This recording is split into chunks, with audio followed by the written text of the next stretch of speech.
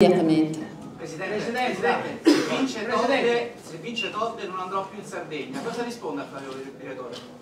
Che è un problema suo. Noi sicuramente riusciremo a campare anche senza.